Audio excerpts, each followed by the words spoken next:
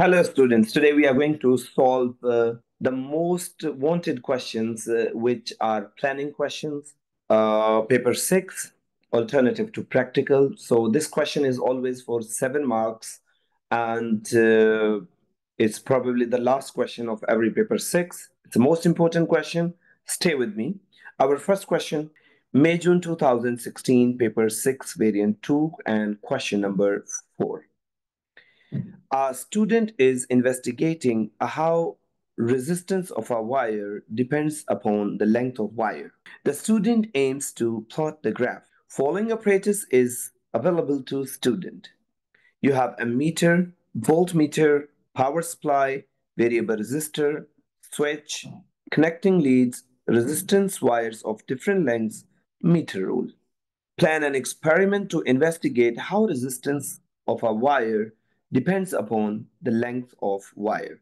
So over here, the two things are the most important, which is dependent variable and independent variable. So they say how resistance of wire depends upon length of wire. You can underline them and write your resistance is dependent variable and the length is independent variable. Okay, so dear students, let's keep reading. So here is our main question I highlighted for you. So what you have to do, you have to draw a diagram of the circuit you could use, and you have to briefly explain how would you carry out the investigation, suggest the suitable key variables, state the key variables that you would control, and draw a table or tables of the column headings to show how would you display your readings?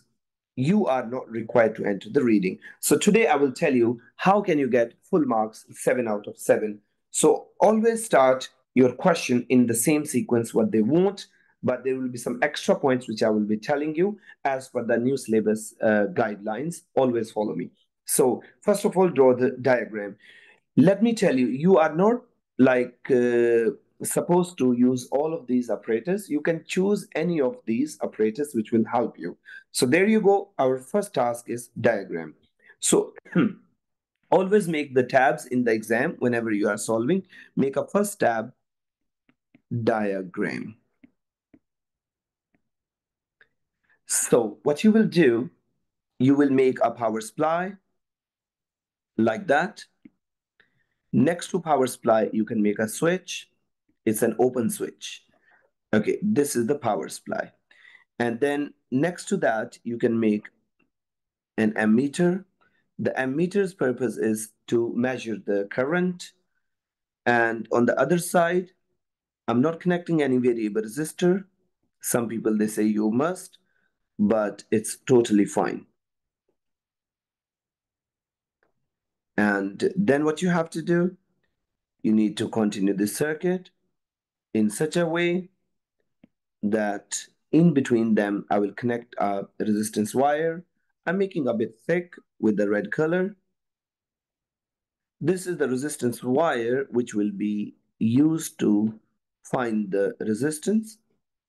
So it's the time to label. This is power supply.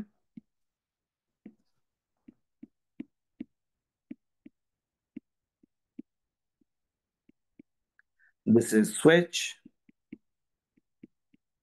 This is ammeter. This you have to label as resistance wire.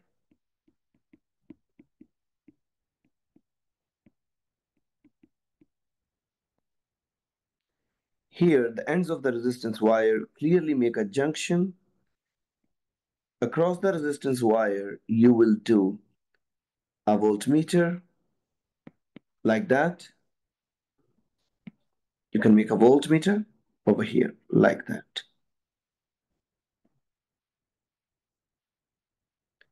Voltmeter should be labeled voltmeter. Okay, as per the requirement of the question, the diagram is labeled even the letters A and V is enough for the voltmeter. So many people, they think that why I did not write uh, the variable resistor. It's an extra precaution I will mention in the question. So this is the first thing we are done. Once you are done, you can put a tick over here so that you know what you have done and what you are left with. Now, the next point is explain briefly how would you carry out the investigation. Listen, my dear students, as per the new syllabus, you first have to do here, defining the problem, you will make extra tabs.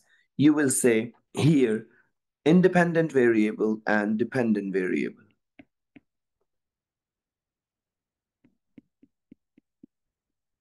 You will make two tabs over here, one tab as independent variable and one tab as dependent variable. As I told you at the beginning of the question, that in this question, they say how resistance depends upon length. So your independent variable is length of wire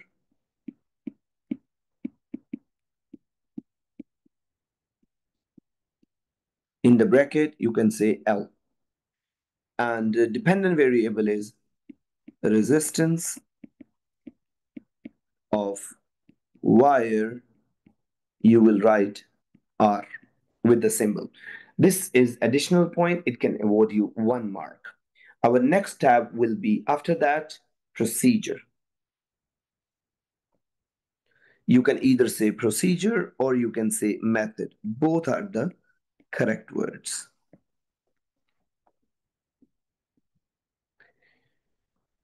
So you can start simply the way they told you. Uh, I will, this will not give you the mark.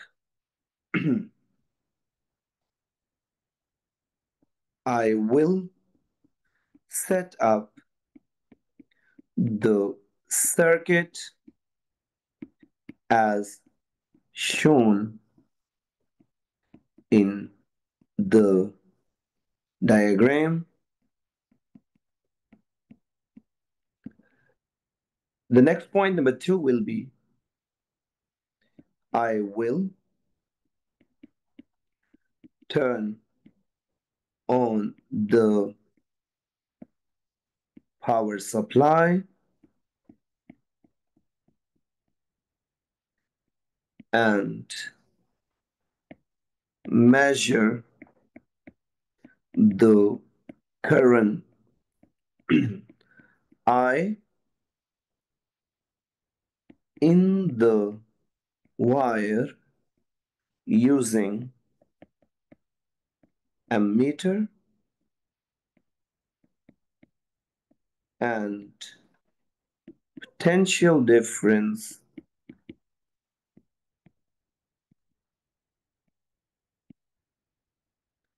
V across the wire using voltmeter. This awards you two marks. I will calculate resistance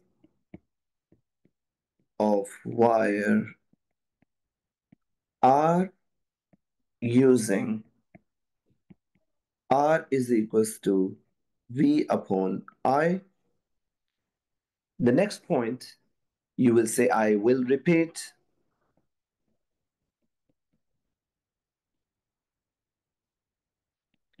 Experiment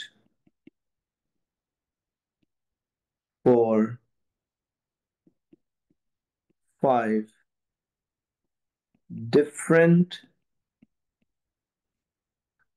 lengths L of wires. Okay, with this, you got the procedure completed and it is going to give you one, two, and three marks. The first point is not awarding any mark. This is just the question. Now, the next part, they ask you, after that, put a tick, suggest suitable lengths of wires. You will give a tab.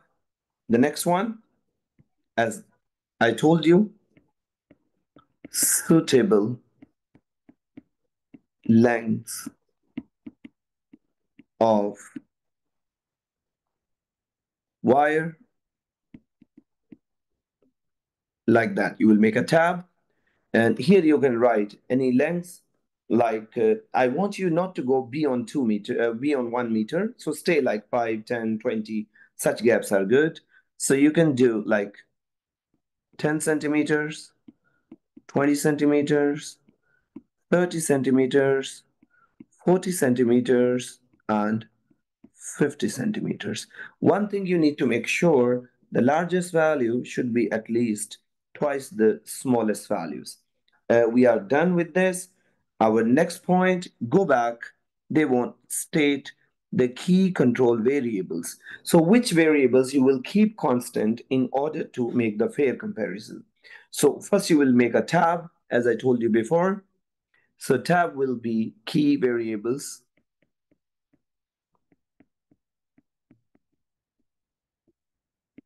to be controlled.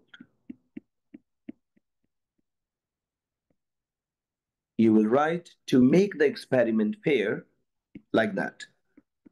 To make a fair experiment. Comma I will keep colon like that. Like that you have to write same material of wire same material of wire same diameter of wire same temperature. You don't have to write all of them. If any variable is given in the question, do not write because it will not award you the mark. You can write any one of these three. You don't have to write all of them. Let's go back. After key variables, you want to draw a table. Table whenever you want to make, first of all, let's make a tab again. So whenever you want to make a table, I suggest you to always start with independent variable. Your independent variable is what you are changing. So that is length. If you gave a symbol already, you can say L slash meters. If you use centimeters, you can use L slash meters. Both are correct. You can say L with centimeters or meters. Then what you measured, you measured the current I amperes. You measured the potential difference V volts. You calculated the resistance R slash ohms. Then you will leave this table completely empty. Just make the columns like that. One, two, three, and that's it. Dear students, please keep in your mind your first column of the table should be always independent variable. You don't have to write this, I'm just telling you. And the last should be always dependent variable. Anything in between, like uh, uh, like uh, the readings of voltmeter or current, you must include them. With this, your table also gone. Okay, now they did not ask you anything, but I suggest you, for the Cambridge point of view, to get full marks always, in the end, write conclusion.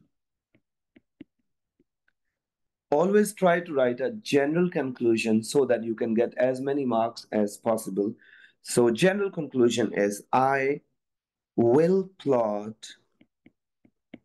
a graph of resistance R against length L of wire and compare the trend.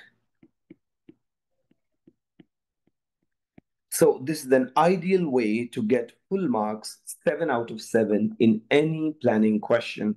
So always go with tabs no matter what they ask you, like independent variable, dependent variable, method, suitable lengths like suitable values of independent variable and uh, key variables to be controlled, table, conclusion, although sometimes they ask you precautions, I will mention in the next video.